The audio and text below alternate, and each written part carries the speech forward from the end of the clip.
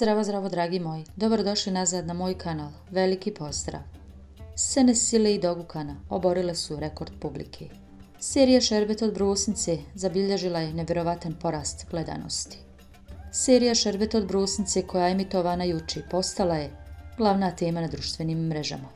Serija je otišla sa 12. na treće mjesto. Sila Turkogul je postala treća osoba o kojoj se najviše priča na svijetu, primivši više od milijun interakcija.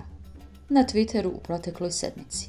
Niko nije očekivao da će serija napraviti tako veliki skok. Šerbet od brusnice, koja je bila nešto ispod očekivanja u svojoj prvoj epizodi. Pomela je drugu. Šerbet od brusnice, koja se iz druge epizode popela na treće mjesto, također, je dobila sve bodove publike. Scenario i gluma serije su bili veoma cijenjeni, naročito scene ljubljenja, dogukana gungura i sili Turkogu.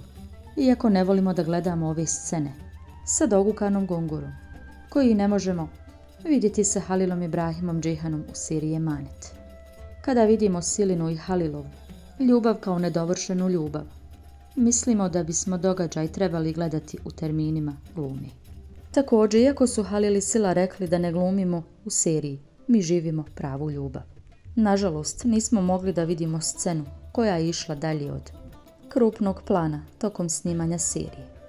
Znamo da je zato zaslužan i management serije Emanet i konzervativni stav Halila Ibrahima Džihana. Ako se vratimo na seriju Šerbet od brusnici, iako je lik Fatih jako zaljubljen, u dogu, hoće li moći da glumi zid između Dogi i njene porodice? Hoće li Doga pronaći ono što traži na ovome putovanju? Da razbije lance svoje majke. Gledajući najavu za treću epizodu, vidimo da se stvari komplikuju. Veliki pozdrav!